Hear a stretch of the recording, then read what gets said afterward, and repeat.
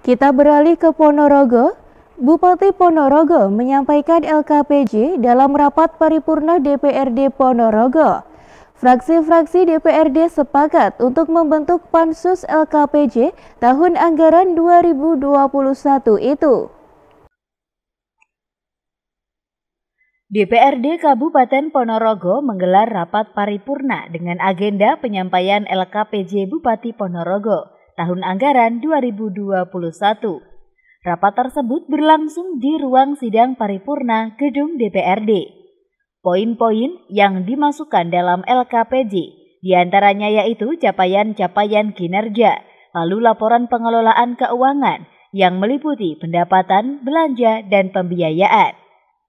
Rapat tersebut menghasilkan kesepakatan pembentukan panitia khusus atau pansus LKPJ Bupati Mayoritas fraksi DPRD Ponorogo setuju atas pansus, dengan rincian 8 fraksi pansus, 2 fraksi tidak pansus, dan satu fraksi abstain.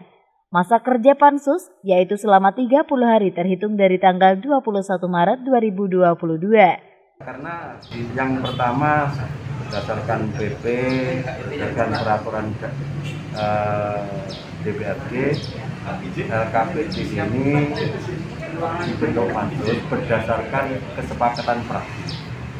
Dari delapan fraksi, enam fraksi sepakat untuk dibentuk pansus. Tentu yang dua harus menghormati.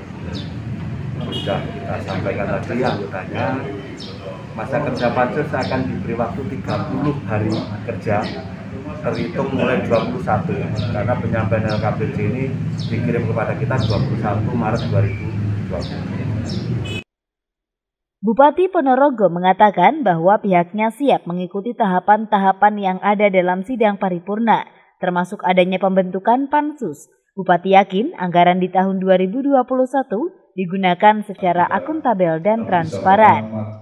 Dari Ponorogo, Jawa Timur, Yanuar Perdana, Madu TV mewartakan.